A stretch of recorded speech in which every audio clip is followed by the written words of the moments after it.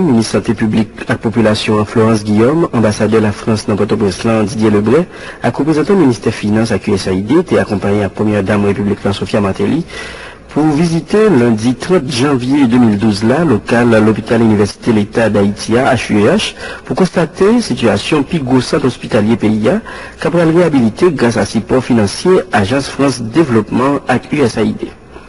Agence France Développement ak USAID finanse réhabilitation sa ak renforcement l'hôpital Université l'État d'Haïtia pou envale 50 milyon dola. Soutien AFD a Ministère Santé Publique nan 4 départements PIA pou envale 7,5 milyon euro. Ce que je veux dire, c'est que parallèlement à cet investissement, est très important pour nous, c'est le premier investissement en termes de volume qu'on fait dans votre pays, l'hôpital. Si on l'a choisi, c'est pas pour rien, c'est qu'il y a une demande très forte pour que ce centre de référence à l'échelle nationale, comme l'a rappelé le Premier ministre, puisse avoir les moyens de fonctionner. Ça ne veut pas dire qu'on s'est désintéressé à la commun. On a aujourd'hui un partenariat hospitalier avec Amiens, euh, avec l'hôpital euh, de, de euh, qui, est, très important. Donc on est très, tout à fait conscient qu'il ne faut pas tout concentrer à mais vous ne pouvez pas, je vois le choix qui a été fait par les autorités politiques de maintenir en, en état de fonctionner dans les difficultés qui ont été rappelées l'hôpital général, ça a été un choix extrêmement payant. Au moment de l'épidémie de choléra, tout le monde était bien content d'avoir une structure et une capacité d'accueil qui a permis à tous ceux qui étaient dans le avant-train de pouvoir se faire soigner. Augmentation offre ministère santé publique pour service santé de base à 40% en population haïtienne. Renforcement système santé à veille épidémiologique en Haïti d'ici juin 2012. Renforcement avec accélération, construction sans technique pour réduire pression dans l'hôpital général. C'est généralement bien lié pour, maladies par services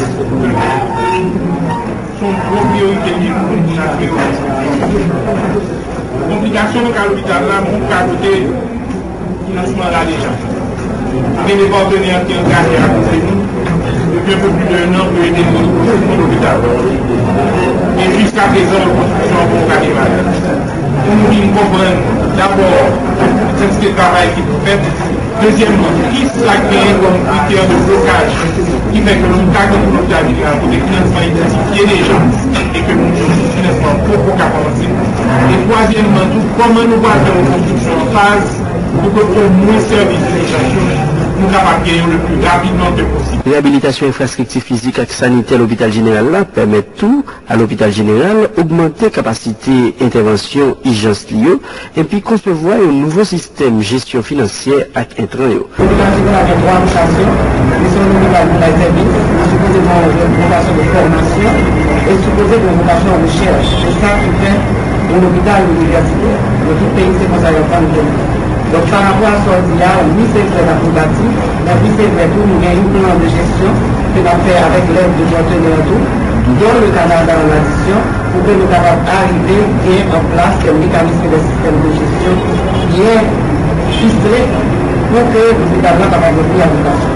Donc par exemple, c'est oui, la vocation hors de soins, on a bâti tout, système de gestion, que ce soit gestion monde, que ce soit gestion financière, que ce soit gestion des tout ça a repris dans nos constructions de l'hôpital Réhabilitation doit permettre à l'institution ça répondre à diverses exigences en matière de santé.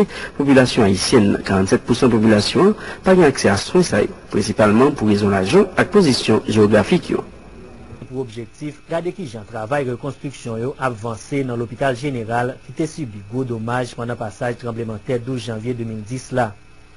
Premier ministre PIA, Dr. Gary Koni, fait l'ajan rekonstruksyon an deja la, e pata dwe gen blokaj nan travay yo. Pi m kompren, d'abor, jeste travay ki brou fet, dezyemman, ki sa gen kom kriter de blokaj ki fek lon kak pou l'Opital General, kote finansman identifiye deja, e ke moun yo finansman poko ka komanse, e troasyemman tou, koman nou po al fè rekonstruksyon an paz, pou ke ou mwen servis li yo jansyo, nou kapap genyon le pi rapidman ke posib. Mèdame Republik la, Sofia Martelly, souhaiter espace l'hôpital Lavine plus grand, une façon pour plus de monde qui jouer un service. Vous réalisez que c'est un espace qui est très restreint.